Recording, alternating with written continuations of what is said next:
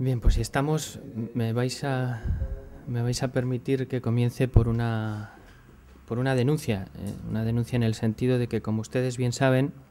el Gobierno de Navarra ha traído al Parlamento, en este caso, el plan de discapacidad, pero también anteriormente el plan gestor de residuos de, de Navarra, con arreglo al artículo 201 del reglamento de la Cámara para que teóricamente los grupos parlamentarios podamos aportar nuestros puntos de vista con enmiendas o sugerencias que puedan incorporarse a ese plan,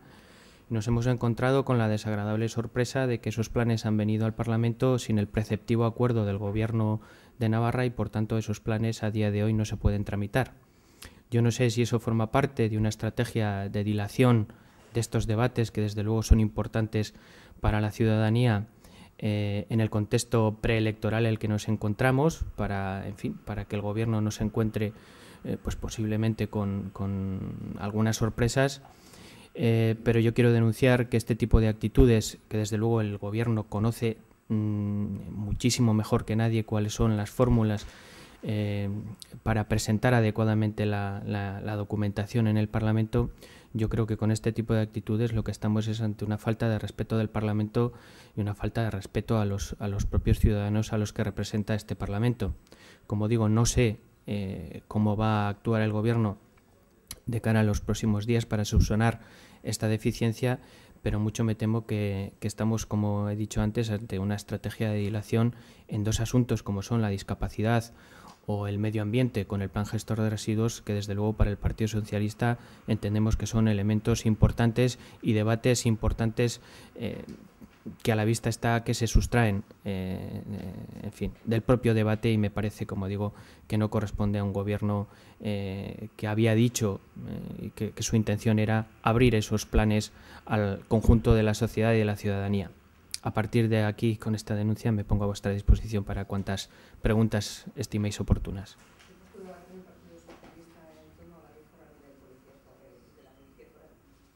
Nosotros nos vamos a abstener en la toma en consideración de esa proposición eh, porque entendemos que es un debate que acaba ya de prácticamente de cerrarse y por tanto es reabrir un debate que para nosotros está suficientemente debatido, valga la redundancia, Además, debatido en dos etapas, una en, el propio debate de la Ley Foral de Policías que presentó el Grupo Socialista y una segunda parte con algunas correcciones que se hicieron dentro de los presupuestos generales de Navarra. Por tanto, con esa perspectiva, como digo, la postura de nuestro partido será la de la abstención para que si el Gobierno tiene a bien entrar en, el debate, pues sea el propio Gobierno quien fuerce o no eh, pues posibles modificaciones. Creo que lo que está encima de la mesa son reivindicaciones eh, que corresponden básicamente a la negociación entre los policías y el gobierno, el poderlos cerrar.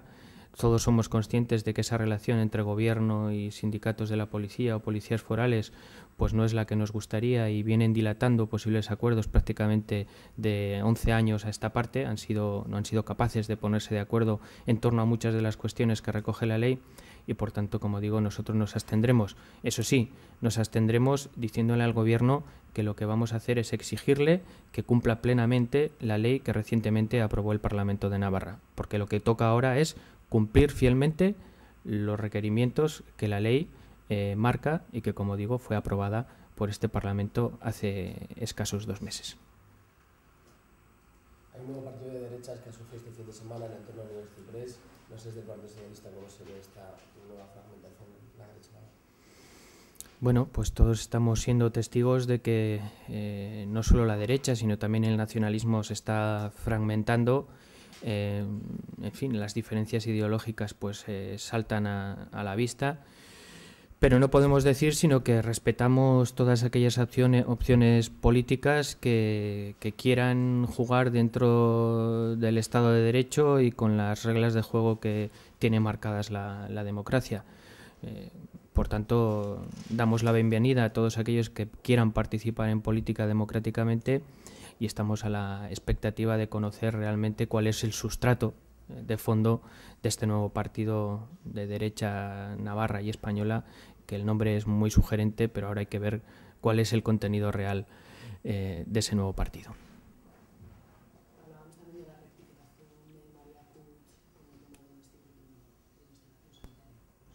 Bueno, nosotros ya hemos dicho que bienvenidas sean las rectificaciones y de lo que se trata en el fondo es de dar a la Universidad Pública de Navarra eh, la relevancia y la importancia que realmente tiene que tener.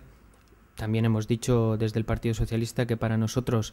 la universidad pública es una pieza fundamental en todo lo que ha de ser la construcción del nuevo futuro de la comunidad foral de Navarra y por tanto si nosotros estuviésemos en el gobierno